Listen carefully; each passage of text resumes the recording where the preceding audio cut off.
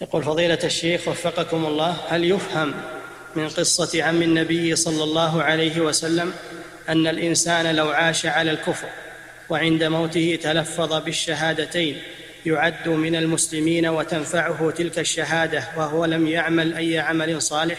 نعم نعم. واضح هذا.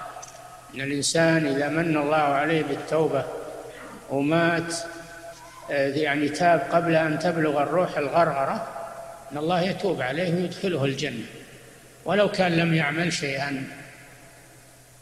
دليل اليهودي الذي أعزاره النبي صلى الله عليه وسلم ودعاه إلى الإسلام فأسلم اليهودي وهو في النزع في سكرات الموت أسلم وقال الحمد لله قال النبي صلى الله عليه وسلم الحمد لله الذي أنقذه بي من النار.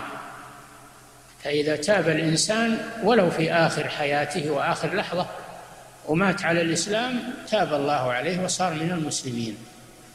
نعم. فضيلة الشيخ وفقكم. وأما كونه لم يعمل شيئا فهو معذور لأنه لم يتمكن من العمل.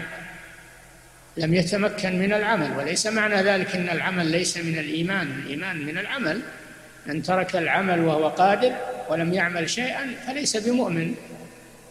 لكن من لم يتمكن من العمل أسلم ثم قتل أو مات قبل أن يتمكن من العمل فهذا معذور.